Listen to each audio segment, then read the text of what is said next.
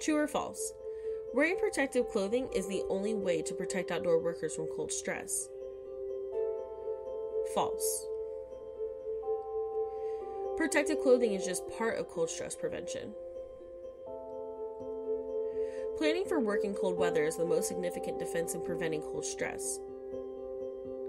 Cold stress can be avoided by dressing appropriately and paying attention to how your body responds to the cold.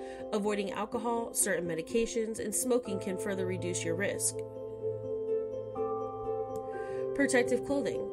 Wearing the right clothing is the most important way to avoid cold stress. The fabric type also makes a difference.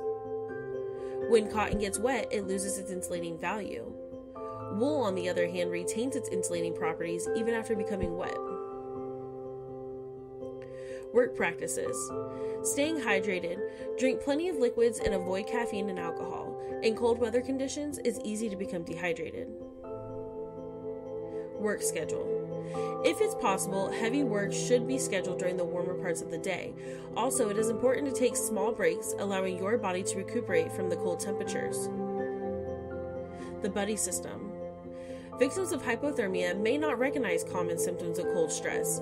Try to work in pairs so that you can keep an eye on each other and watch for these common signs.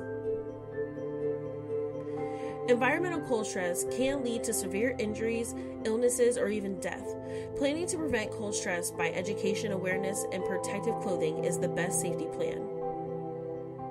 Thanks for watching and join us in our vision of working together to make America safe.